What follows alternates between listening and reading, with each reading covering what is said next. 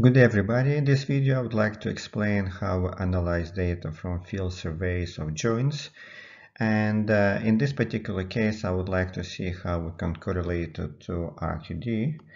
Um, RQD is a very important parameter, the one that we use in many classification systems.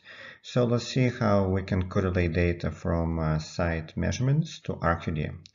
We'll start with the first example and the first example asks to estimate the RQD value of rock mass if the uh, volumetric uh, joint count is uh, this much, 7.6 joints per cubic meter. So, well, this one shouldn't be a problem if you know this uh, correlation between RQD and this volumetric uh, joint count. So in this case, we'll just um, uh, add the numbers and we'll see how much we're going to have for RQD. So that will be 115 uh, minus, uh, 3.3 times, uh, in this case, um, joints uh, 7.6 per cubic meters. So that will give you about 89.9%. So this is the RQD value. Um, well, remember, this is uh, an estimation. So um, it typically works well when we have high values of RQD. If the RQD is uh, less than 20, in this case, this formula may not work really well. But again, it gives you some idea about the RQD, something that you can use for um, rock mass uh, strength assessment. Okay, let's move on and look at another example.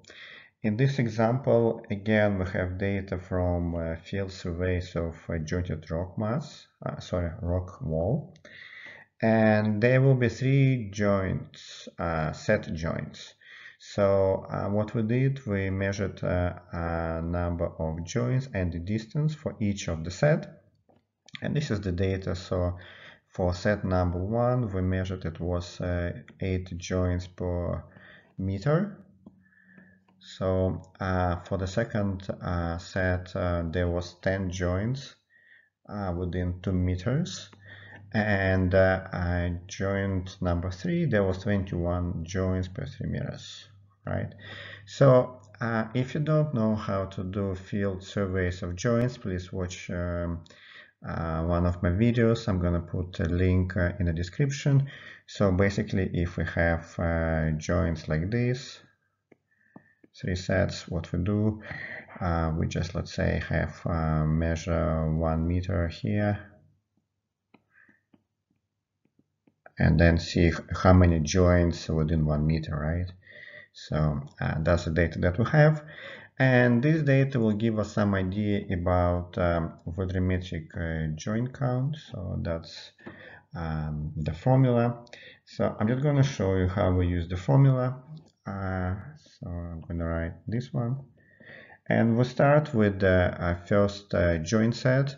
So we have uh, 8 joints per 1 meter. So in this case we're going to have 8 joints per 1 meter.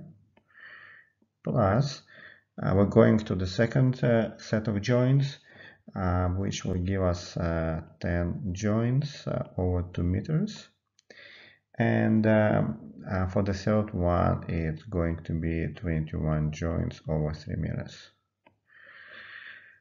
Okay, so that's how it works. Um, in the end, uh, that will give us a value of uh, approximately uh, 20 joints uh,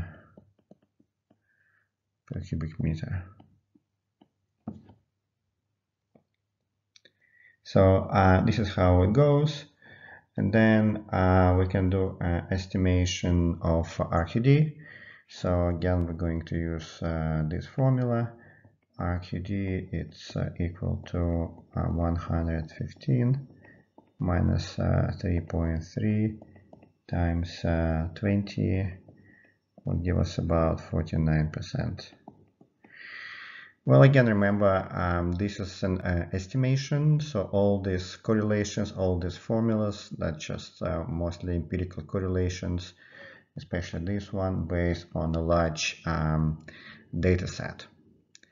Okay, so, and now let's go to the third example. Let's see um, what we can do about joint frequency.